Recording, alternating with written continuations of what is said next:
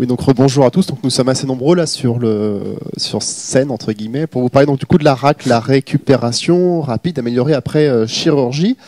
C'est une pratique euh, assez euh, récente, enfin qui date depuis quelques années, mais dont on trouve l'origine il y a assez longtemps finalement, puisqu'elle a surtout été développée dans les années 90 au Danemark ce que les anglo-saxons appellent la, le fast track, vraiment la récupération rapide cette prise en charge qui est vraiment globale, hein, à la fois euh, médicale, chirurgicale, également en termes de rééducation, on va le voir aussi en termes d'anesthésie, concerne à la fois, donc comme j'ai dit, tous les gestes d'orthopédie euh, qu'on dit entre guillemets majeurs, c'est-à-dire les plus euh, invasifs pour nous, c'est-à-dire que la prothèse de hanche, de genou, ainsi que la ligamentoplastie.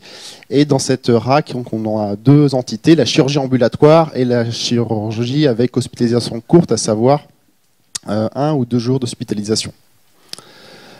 L'objectif majeur de ce changement un peu d'attitude, c'est vraiment passer le patient au, cœur du système. Il faut vraiment que celui-ci soit acteur, actif pour ses, euh, pour ses, soins.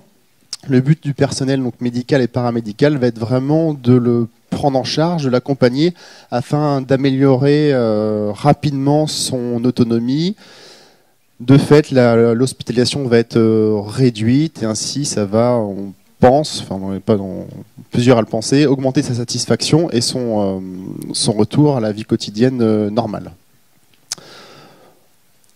Le but de cette prise en charge, en fait, c'est un peu comme un accouchement. C'est vraiment, on bichonne un peu plus le, patient. Il est vraiment au cœur des attentions de tout le monde.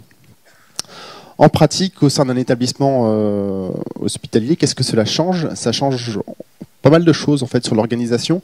Notamment pour nous ici au CHP, ça nécessite la création d'un comité euh, RAC pour euh, fédérer tous les acteurs de santé qui vont interagir autour de ce patient, à savoir forcément le, chirurgien, mais ça passe aussi par les infirmières, les anesthésistes, le manip radio, les brancardiers, un peu enfin, tous les acteurs en fait, qui vont être aux côtés du patient pour que tout le monde parle d'une seule et même, euh, et même voix.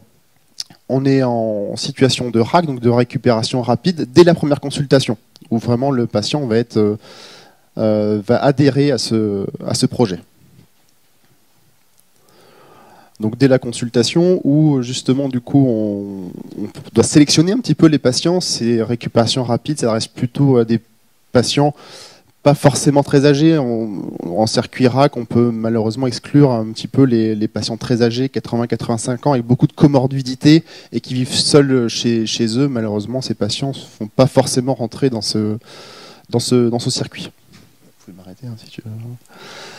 Donc cela repose par des explications, bien sûr, et euh, à la fois en consultation de chirurgie et d'anesthésie. Notamment, les anesthésistes vont avoir pour euh, mission entre guillemets de préparer au mieux le retour à, domicile avec notamment euh, des ordonnances dentalgiques qui seront délivrées euh, en amont lors de la consultation d'anesthésie, soit environ un mois avant la chirurgie. Voici pour la consultation du coup d'anesthésie. Et le médecin anesthésiste va valider ce protocole, ce circuit RAC, puisqu'il aura une vision plus globale et euh, sur l'ensemble des comorbidités euh, présentées par le patient. Et éventuellement, si le chirurgien euh, n'avait pas remarqué certains points critiques sur l'état de santé général du patient, l'anesthésiste va avoir un œil plus, plus général et va pouvoir éventuellement contre-indiquer cette, cette entrée dans ce circuit, circuit RAC. Ce que ça change euh, également pour la clinique, c'est que les gens sont reconvoqués le même jour que la consultation d'anesthésie et sont vus par euh, une infirmière de, la clinique qui va lui expliquer le circuit, comment va se passer son hospitalisation, ce dont le patient a besoin pour éventuellement le retour à la maison. Déjà prévoir une infirmière à, domicile pour tout ce qui est injection anticoagulant, les soins locaux et aussi pour la rééducation, lui réexpliquer un peu la nécessité pour certaines interventions déjà prévoir déjà des rendez-vous de, rééducation et pour que tout soit vraiment calé euh, avant l'entrée du patient à la, clinique. Le plus souvent, ce qui est bien, c'est que le, patient vienne avec euh, souvent son conjoint, sa conjointe, pour qu'ils soient deux à entendre les mêmes informations, pour qu'il n'y ait pas une perte d'information justement lorsque le patient est, est tout seul. Le même jour aussi, le patient est vu par euh, un de nos kinés pour euh, apprendre euh, l'utilisation des, béquilles et pour les chirurgies du genou, l'apprentissage de l'utilisation des attelles compressives de cryothérapie. Donc ça change un petit peu le management un peu préopératoire, c'est un peu différent de ce qui se faisait il y a, quelques années. Visite de l'établissement qui peut éventuellement être, être proposée. Ces entretiens sont faits vraiment par petits groupes pour vraiment avoir le moins de pertes d'informations euh, possible. Donc toujours sur cette même journée, le patient envoie le médecin anesthésiste qui donc lui explique bien sûr les consignes liées à l'anesthésie, les avantages, les risques, et aussi les anesthésistes ont un peu évolué puisque le jeûne est maintenant euh, limité. On demande aux patients euh, d'être vraiment à jeun strict uniquement 2 à 3 heures avant l'intervention, sachant que 3-4 heures avant celle-ci, il peut encore boire. Les anesthésistes ont aussi privilégié euh, les ALR, les anesthésies donc locaux-régionales, pour vraiment anticiper la, douleur post-opératoire, avec aussi des, euh, traitements euh, adjacents type hexacil. Alors ça vous parle peut-être pas énormément, ce sont des molécules qui réduisent le saignement opératoire. Des trucs, des petits trucs tout bêtes, par exemple, maintenant, les jambes sont de moins en moins perfusées, ont juste des, des bouchons, on peut juste faire des, des prises de sang éventuellement, mais il n'y a plus de perfusion des poches qui traînent dans tous les sens. On essaye d'éviter euh, au, maximum. Maintenant, on en vient à la chirurgie en elle-même. Pour faire quelque chose en ambulatoire ou vraiment garder cet esprit euh, récupération rapide, on passe forcément par la chirurgie euh, mini-invasive, une chirurgie la moins agressive possible. Concernant la hanche, donc là on parle prothèse de hanche par surfaçage, on passe pour nous, ça semble indispensable de passer par voie antérieure afin de ne pas léser euh, ne serait-ce que les pelvis trochantériens. Et pour la chirurgie euh, prothétique euh, du, genou, on essaye d'abandonner au maximum ces voies d'abord assez délabrantes, comme vous voyez en haut à gauche, des voies d'abord transquadricipitales avec, il y a 20-30 ans, relèvement de la TTA pour passer sur des incisions mini-invasives, subvastus, comme vous voyez à droite, pour la mise en place, donc le cas échéant, d'une prothèse unicompartimentale. On peut proposer également l'infiltration du site opératoire afin de réduire cette euh, douleur euh, après la, chirurgie. Les drains peuvent toujours être mis en place avec dorénavant, depuis maintenant 2-3 euh, ans, quasiment en systématique, ces attelles compressives de cryothérapie qui sont installées dès en salle d'opération et dès la fin de l'intervention. Le but donc de la gestion post-opératoire euh, immédiate, c'est de vraiment démédicaliser le, le patient, comme je vous le disais, enlever au maximum toutes, euh, toutes les perfusions. On fait maintenant le lever le plus précoce possible, c'est-à-dire que pour tous les patients qui vont être opérés le, jour J vont être levés, enfin le kiné va passer les voir, sauf bien sûr les gens qui sont opérés tard dans l'après-midi, mais tous les patients opérés euh, le matin d'un geste prothétique vont avoir une première séance de rééducation euh, l'après-midi même par le, le kiné du, service. Nous avons chez nous qu'un anesthésiste euh, référent un peu pour tous ces problèmes de dialectique, c'est-à-dire qu'en gros, on, vraiment, on essaie de démédicaliser au maximum, on parle plus tellement de douleur, on parle de confort, on essaie vraiment de mettre le patient à l'aise, en confiance, pour vraiment l'engager à, à s'autonomiser le plus, le plus rapidement possible. Et on met accent aussi également sur les exercices qu'il doit faire par lui-même au, quotidien, et bien sûr qu'il n'attende pas tout de son, de son kiné. Voici donc un petit exemple d'attel, bah, vous connaissez forcément, d'attel euh, de cryothérapie avec des cycles de 2, 2 à 3 heures. Pour le retour à domicile, il s'agit encore du rôle de l'infirmière RAC de l'établissement, c'est-à-dire de faire un appel post-opératoire, un appel téléphonique à J1 pour les patients qui sont en ambulatoire, tout simplement pour prendre des nouvelles, savoir s'il n'y a pas de, de quoi ou quoi que ce soit, et euh, à J3 et à J7 pour les patients opérés de gestes euh, prothétiques. Il y a toujours bien sûr des projets de, e-suivi, de patients connectés. Pour l'instant, on n'a pas mis ça mis ça en place, ça peut être euh, une, piste. Pour résumer, en gros, il ne s'agit pas du tout de se débarrasser le plus rapidement possible du patient. Ce n'est pas de la chirurgie euh, low cost, mais au contraire, c'est euh, d'une exigence extrême afin que tous les checkpoints, enfin tout se passe de la meilleure façon possible, afin que le patient rentre chez lui le moins douloureux possible, si possible indolore et surtout le plus autonome. Pour euh, ce faire, donc un petit euh, récapitulatif pour la chirurgie qui doit forcément être mini-invasive. D'un point de vue anesthésiste, le jeûne est limité et pour le suivi post-opératoire, on démédicalise au maximum. Je sais pas si vous voulez intervenir. Non, c'est bon. D'accord.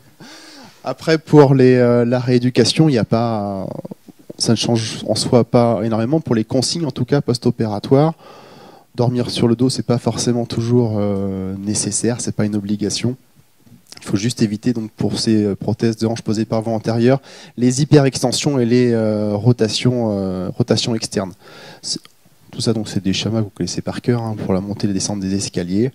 Les cannes, en général, pour les prothétiques, c'est une quinzaine de jours. La conduite automobile, on les autorise au bout de deux à trois semaines, soit à l'abandon des, des deux cannes. C'est pour euh, souvent les prothèses de hanche et pour le genou. Donc on leur donne beaucoup d'exercices de, rééducation, d'auto-rééducation. Nous, en tant que chirurgien, on les sensibilise euh, à ça, à savoir qu'il faut qu'ils prennent en main leur rééducation euh, par eux-mêmes et les kinés du service rabâchent un peu cette, cette consigne en venant les voir deux fois par jour pour leur montrer les exercices à faire chez eux. je crois que j'avais terminé mon petit topo, c'est une discussion. En fait, la, RAC, ça fait trois ans qu'on en, trois ans qu'on en parle et qu'on met ça en place tous ensemble avec euh, Damien, Évrard, Alexandre, Charles euh, et Yvan. Et c'est vraiment euh, mettre le, le, patient dans un confort et le rendre acteur de sa rééducation.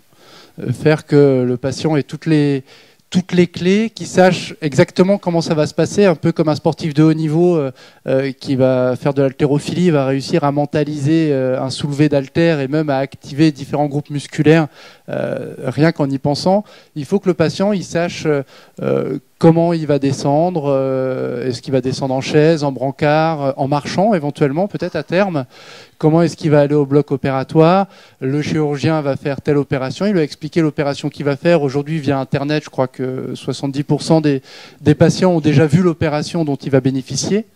Bénéficier, c'est important comme terme aussi. Souvent, les patients disent ah, J'ai subi une prothèse. Non, non, vous avez bénéficié de la mise en place d'une prothèse de genou. Et, derrière, qu'ils sachent quand ils vont remonter exactement quels sont les, quels sont les différents checkpoints qu'ils vont avoir. Comme ça, quand nous, on arrive par exemple à J0 à 18h, qu'il a été opéré à 10h, il se dit pas comment ça, vous êtes déjà là, donc il monte déjà en tension. Il sait que le kiné va arriver, qu'on va se lever, qu'on va voir ce que ça donne. Si c'est une prothèse de genou, il y a des fois où bah, le, bloc, euh, le bloc crural euh, dont parlait Evrard tout à l'heure est toujours présent, du coup il n'y a pas de verrouillage, mais le patient s'est assis au bord du lit, on lui a donné quelques exercices pour essayer d'améliorer la récupération de ce bloc-là, et derrière, ça permet aussi de relancer tout ce qui est système euh, cardiovasculaire parce qu'il n'est pas resté pendant 12 heures allongé dans son lit à attendre que ça se passe. Et nous, on a remarqué euh, dans notre quotidien deux choses. La première des choses, on a moins de malaise à J1. Et la deuxième des choses, au niveau, du, au niveau du, de la participation du patient, ils sont plus actifs. Et en fait, euh, dans ce concept-là, il faut que tout le monde joue la même musique euh, entre le chirurgien euh, qui dit vous entrez dans le protocole RAC et après, c'est le travail entre les infirmières spécifiques RAC, les infirmières de la structure aussi pour enlever les redons de façon précoce, pour enlever les pieds à perdre de façon précoce, et notre travail à nous aussi en tant que, que physio pour réussir à les faire marcher et, et faire qu'ils arrivent à retrouver de l'aisance, du confort, et quand cette première phase de marche est acquise, réussir à leur donner des petits exercices qui sont très simples, qui vont pouvoir mémoriser, parce que malgré tout, ils sont à l'hôpital, malgré tout, ils ont quand même un certain âge, même si c'est des jeunes de ce certain âge-là, mais il faut qu'ils soient capables aussi de mémoriser ces petites séquences d'exercices pour pouvoir travailler. Et c'est vrai qu'on en discutait avec Evrard la semaine dernière. Le, job de, kiné ou de physio, si on dit à l'anglo-saxonne, est en train d'évoluer vers aussi un, job de, management santé. Alors je ne sais pas comment dire si c'est si c'est ça, mais où l'objectif c'est que le patient il ait ses références, il ait ses créneaux. Avant d'aller manger le repas euh, du matin, eh ben, j'ai mes 10 minutes d'exercice euh, que le kiné m'a donné. Le midi, pareil. Le soir, pareil. J'ai été marcher deux, trois fois et j'ai mis mon atelier glou après. Et si jamais il a tout ça qui est bien calé avant l'opération, le jour de l'opération, il n'est pas embêté. Moi, je prends souvent cet exemple-là lors des, lors des bilans, lors des bilans qu'on fait. En fait, les bilans RAC, ils sont faits sur deux thèmes. Le bilan infirmier, c'est un bilan en groupe de 5 à 10. Le bilan kiné, c'est un bilan qui est individuel. Parce qu'on a tous, tous les patients ont tous une petite demande un peu particulière. Ah, j'ai oublié de demander au chirurgien si je pouvais aller, je suis un exemple d'un patient, déposer les cendres de mon fils en haut du Mont Blanc dans 6 mois. Bon, bref, c'était, c'était le thème. Mais, donc, et derrière, ça permet de remettre chaque patient euh, tout seul face à un thérapeute, face à des questions qu'il n'a pas forcément pu poser avant, pu poser après. Et en fonction de la position de chacun, que ce soit le chirurgien, l'infirmière, le kiné ou même euh, les infirmières qui va croiser dans le service, on va tous avoir la même réponse, mais dite de façon différente, qui va faire que le patient il va se sentir euh, bien pris en charge et dans un cocon, un peu comme, comme l'image de la maternité que prenait Evrard tout à l'heure. Euh, et, moi, je leur dis, par exemple, quand ils viennent avec moi en bilan, en bilan préopératoire, d'utiliser, même si ça va, d'utiliser leur canne pendant 5 minutes, tous les jours, deux, trois semaines avant, pour qu'ils arrivent à, automatiser le geste, et que le premier jour, à J1, quand des fois c'est un peu limite au niveau du verrouillage, et eh ben, ils aient déjà le geste pour pouvoir marcher et commencer directement à stimuler ce quadriceps, à stimuler ce verrouillage. Et ça nous permet à nouveau de gagner un peu plus de temps pour que le patient soit euh, le plus confortable. Et souvent, moi, ce, que je dis un peu en rigolant aux patients qui me disent Ah bah, je, sors déjà, je leur dis Mais si vous sortez déjà, c'est que tout va bien. Donc ne restez pas trop longtemps chez nous, la déco n'est pas forcément exceptionnelle. Mais derrière, euh, si vous rentrez chez vous, il, faut trois facteurs. Le, premier facteur, il faut que globalement, nous, on dise qu'il soit autonome. À ce moment-là, on donne un feu vert via un texto aux différents collègues qui sont ici qui reçoivent de temps en temps. Et derrière, euh, quand ils font leur visite, il faut deux choses à ce moment-là. Nous, on donne un premier feu vert. Il faut que le chirurgien soit d'accord. Peut-être que lui, il y a quelque chose dont il est, qu'il a vu quand il a opéré au coquès que nous, on ne peut pas maîtriser. Et la troisième chose, il faut que le patient ait aussi son environnement qui soit euh, confortable pour le recevoir. Et si le patient nous dit, si on dit le matin, bah là vous êtes éventuellement sortant, et puis qu'il nous dit ouais mais moi ma femme elle travaille, elle peut pas venir me chercher ce soir ou c'est compliqué, et eh ben à ce moment-là il reste une, nuit de plus à la clinique, c'est pas euh, c'est pas grave. en fait c'est l'association de, ces trois facteurs et que le patient sente qu'on soit tous dans la communication entre les infirmières, le service, le chir, le patient, qui font que la RAC fonctionne et qu'on arrive à diminuer les délais de séjour.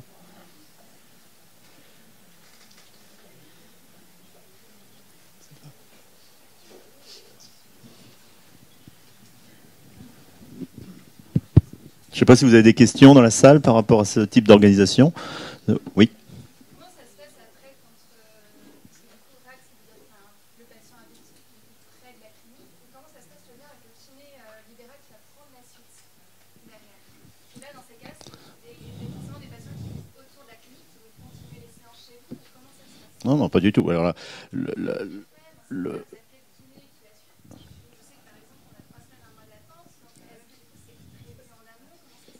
Oui, alors bien sûr, c'est une excellente question. En termes d'organisation, euh, la RAC, ça s'adresse pas à des gens qui habitent en face de la clinique. Hein. Euh, nous, on a euh, la chance d'avoir ce recrutement euh, régional de gens qui font, qui viennent, qui font la route, hein, qui font 100, 150 km pour venir nous voir. On a des gens du 29, du 50, du 44. et donc, en fait, l'idée c'est ça, c'est toute l'anticipation. C'est-à-dire que à la RAC, sur le livret, l'information, c'est d'anticiper. C'est-à-dire que les gens ont leurs ordonnances au préalable, l'information, et euh, ils sont censés avoir contacté le kiné, l'infirmière, avoir pris les médicaments et tout organisé pour un retour à domicile. Le but ultime étant sur l'ambulatoire, bien sûr, de rentrer chez soi. On ne va pas courir à la pharmacie de nuit pour euh, aller chercher ces, médicaments et appeler le kiné en catastrophe le lendemain matin. Tout doit être anticipé, évidemment. évidemment. Et euh, voilà, moi j'ai un petit un petit mot à rajouter parce que je, suis le, plus vieux de la bande. Euh, je vois dans l'assemblée euh, un peu tous les âges. Je pense que parmi vous, euh, il y en a qui ont bossé dans les centres de rééducation, qui ont fait des stages là-bas. Ils avez vu cette chirurgie ligamentaire dont vous a parlé Alexandre et, Charles, qui a qui a vraiment qui, a vraiment sur les 20 dernières années totalement changé. Moi, quand je me suis installé il y a 17 ans, on gardait les gens six jours encore à l'hôpital Hein, Rappelez-vous de ça. Le kiné, il voyait pas le patient avant 48 heures. Il y avait le premier jour, c'était le fauteuil. Le lendemain, il le mettait dans le, cabinet de toilette. Et puis au bout de trois jours, éventuellement, il commençait à faire ses premiers pas dans la chambre avec le flessum de sécurité de 10 degrés. Enfin, on a connu ça. Et ça remonte pas à si, si longtemps que ça. Hein. L'ambulatoire pour les ligaments, ça date de 4 ans. Hein. Avant, on est passé de 6 jours à 5, 4, ainsi de suite. Et on a basculé. Ça nous a beaucoup surpris avec, Damien on, l'a commencé. On est passé 2 ou 3 jours d'hospitalisation à de l'ambulatoire. Et en quelques mois, ça s'est fait comme ça. Maintenant, quel patient accepterait de rester 48 heures ou, plus pour une opération du ligament croisé alors que maintenant, c'est entre 4 et 6 heures en fonction de l'heure de passage au bloc? Donc nos anesthésistes nous ont beaucoup aidés sur cette évolution. Euh, nos techniques opératoires, on les a, on les a évoluées. Vous voyez que c'est toujours des techniques en cours d'évaluation. La suture, euh, la réinsertion du ligament, c'est quelque chose qui se faisait il y a 30 ans. Ça avait été abandonné parce que c'était que du fil. Il n'y avait pas tout ce système de revascularisation qui pouvait se faire. Euh, donc c'est pour ça qu'ensuite il y a les ligamentoplasties, les ligaments artificiels, et puis on revient à des vieilles techniques, mais parce qu'on comprend mieux les choses, on les améliore. Il y a certainement des choses encore à découvrir, des études à mener. Ça, c'est quelque chose qui est très important à faire, surtout dans des structures comme les nôtres où on a un gros volume de patients et on peut, on peut faire ce type d'études. L'intérêt du PRP, qui est certainement quelque chose dont vous entendrez de plus en plus parler. Et, puis voilà, et puis cette, cette collaboration avec nos kinés aussi, qui, qui, sont là toujours pour essayer d'améliorer leur pratique, d'évaluer, de s'auto-évaluer, et, et, tout est là. Et donc la RAC, c'est ça, c'est l'éducation du patient. Moi, j'ai aussi souvenir quand je faisais la visite des patients de mes anciens associés qui sont à la, à la retraite maintenant, d'avoir les patients qui me demandaient le lendemain, mais il m'a fait quoi exactement le docteur, machin? Alors là, les bras m'en tombent quand, quand j'entends ça. C'est-à-dire que le patient, on lui avait dit, on vous opère et puis point barre, quoi il savait pas servir de béquille, il savait pas ce qu'il allait devenir derrière. Je vais en centre, centre de rééducation, mais non, euh, c'est pas comme ça que ça se passe. Donc la RAC, c'est ça, c'est l'éducation du patient, la, collaboration du patient euh, sur des systèmes d'information. Alors là, on a parlé de livret, il y a certainement encore, on peut aller plus loin sur des tutos, sur des sites internet, mais toujours en, maîtrisant la communication, parce qu'il ne faut pas aller voir n'importe quoi sur internet. Bien sûr, vous savez que ça peut être dangereux, mais de le, coacher, quoi. Il n'y a pas, a d'autre mot. Pour, euh, pour reprendre votre question, en fait, ce qu'il faudrait, c'est que le, patient, à partir du moment où il, il parce que les, délais d'attente, effectivement, c'est une, une, réelle problématique, surtout si le patient sort, par exemple, le, vendre le jeudi. En fait, il y, a une réponse très très simple à, votre remarque, c'est que nous, on a des délais pour, euh, pour la chirurgie prothétique qui ne sont pas d'une semaine sur l'autre, et qu'en règle générale, le bilan euh, pré-intervention pour une prothèse est allé, euh, même avec une réunion RAC euh, qui, permet de vraiment regrouper l'intégralité des rendez-vous sur une seule journée. Mettre en place ça, globalement, ça se fait dans le mois qui suit. Et nos délais opératoires sont entre six semaines et deux mois en fonction des, des, disponibilités de chacun. Donc en fait, le patient, à partir du moment où on l'a vu en consultation, où on a posé la date opératoire, peut très bien décrocher son téléphone et commencer à anticiper la date de rendez-vous en se disant qu'il va rester hospitalisé de la date euh, d'hospitalisation pour sa chirurgie et sortir deux trois jours après. Euh, et donc euh, clairement dans les délais de prise de rendez-vous, normalement ça devrait ça devrait le faire.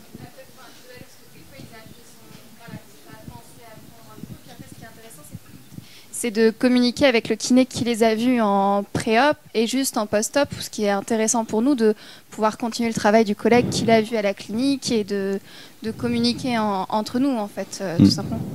Ce que, ce que, vous allez voir surtout, dans les, je pense, dans les, dans les, dans les années à venir, c'est aussi votre rôle avant l'intervention. Et je pense que c'est quelque chose qui va vraiment se développer, ce qu'on appelle la préhabilitation, c'est-à-dire tout ce qui va se passer en amont. Et je pense que vous aurez un rôle important parce que je pense que euh, pour une prothèse de genou, quelqu'un qui a un flessum de 10 degrés, ben, il y a peut-être moyen de le ramener à 5, voire en extension complète. Nous, ça va nous faciliter le travail et pour le patient derrière aussi. Donc il y a certainement dans les années qui viennent une, rééducation préopératoire qui va se mettre en place, de la proprio pour les, pour les hanches, des étirements pour les genoux, des choses comme ça, du renforcement musculaire, du gainage. Et euh, pour gagner du temps sur le post-op. Comme, comme on fait actuellement sur les chirurgies ligamentaires du genou. C'est-à-dire qu'on a le traumatisme, on a une phase de rééducation euh, de l'ordre d'à peu près un mois et demi, deux mois au plus court, euh, avant pour retaper le genou et pouvoir, euh, pouvoir réaliser la chirurgie. Donc je pense que ce sera calcable là-dessus après sur, sur les événements prothétiques, que ce soit pour la hanche, le genou, l'épaule. voilà. Après, nous, quand on fait un bilan préopératoire, on le remet au patient. Donc à ce moment-là, il peut vous le transmettre. Euh, c'est vrai que à la clinique, nous, on remplit des documents sur, sur Mediboard. Alors, je ne sais pas s'il y a un intérêt de, de les imprimer. Après, l'objectif de, l'objectif de la clinique, c'est de faire bénéficier aux patients une clinique chirurgicale, donc d'un geste chirurgical qui soit autonome, qu'il ait toutes les données, et puis à la rigueur, si jamais il a un petit flessum mais il est autonome, c'est pas grave. Il est autonome, il fait ce qu'il veut, il a les, exercices et on sait qu'ils vont bosser avec vous aussi après. Donc, est-ce que ça va vous apporter grand-chose? Après, il y a peut-être un travail à, réfléchir par rapport à ça, effectivement, par rapport à la communication avec l'extérieur de la clinique.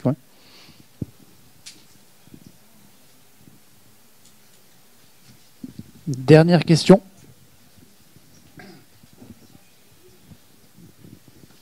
Bonjour. Juste, je voulais vous demander par rapport aux attelles que vous prescrivez après intervention des ligamentoplasties ou réinsertion à savoir est-ce que vous restez sur des attelles vraiment fixes euh, qui restent en extension ou est-ce que vous mettez les, maintenant les articulés avec une restriction qui peuvent aller jusqu'à 90 Savoir un petit peu comment vous, abordez les choses. Alors, en termes d'attelles, on est sur de l'attelle extension, d'extension euh, qui permettent euh, la position de PAC pour la, d'être gonflé pour la cryothérapie que ce soit pour la, chirurgie de réinsertion ou la chirurgie euh, de ligamentoplastie euh, classique, à partir du moment où les patients euh, verrouillent, ils sont, on les force plus à être en journée dans la telle. une fois qu'ils verrouillent, limiter la, encadrer par une attelle de, une attelle articulée, moi je j'en vois pas trop l'intérêt puisque les, structures ligamentaires euh, euh, médiales et latérales euh, normalement sont pas atteintes. ce qui peut nous arriver, c'est de donner en consigne, en revanche, des limitations de flexion en termes de rééducation pour limiter la flexion et préserver des, gestes, complémentaires réalisés sur, les ménisques, et entre autres sur les rampes, ou les cornes postérieures de ménisques, qui sont très sollicités au-delà de 90 degrés de flexion sachant que 90 degrés de flexion, quelle que soit la chirurgie euh, ligamentaire, on les atteint pas, euh, on les atteint pas tout de suite, tout de suite. Euh, en revanche, le fait d'avoir une attelle d'extension, moi, ce que je préconise à, mes patients, c'est de la conserver la nuit pendant trois semaines pour éviter qu'un un flexum nocturne s'installe et de, perdre tous les efforts réalisés au cours des journées, de la journée. Voilà. Je ne sais pas si tu fais pareil, mais. Sur l'attelle d'extension, un peu pareil.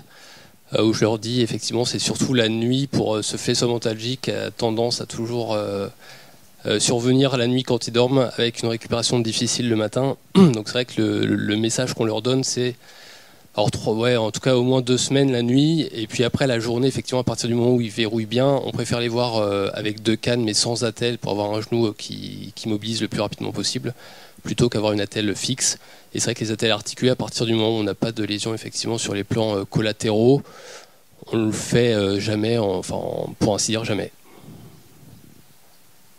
Et en post-traumatique immédiat, quoi? Attelle, pas d'attelle, Zimmer, pas de Zimmer? Pareil, c'est vraiment dépendant des patients et dépendant d'un plan collatéral. S'ils ont un plan collatéral médial, par exemple, c'est sûr qu'on va leur dire au moins 4 semaines euh, d'attelle articulée, effectivement, pour avoir une cicatrisation dirigée du plan, du plan ligamentaire. Euh, et puis après, ça dépend des patients. Il y a des patients qui ont la grosse hémarthrose, la sidération du quadriceps, et là, on va leur dire bah, attelle jusqu'à verrouillage, et dans ce cas-là, euh, euh, bah, on, communique, ou en tout cas, le, rôle de, bah, de la rééducation, c'est d'avoir ce verrouillage du quadriceps qui va permettre le sevrage. et puis, on a des patients qui ont une toute petite hémarthrose qui verrouillent tout de suite, qui ont un super genou, et dans ce cas-là, on n'est pas systématique sur l'immobilisation. Bien. Merci. Euh. Pouvez-vous applaudir évidemment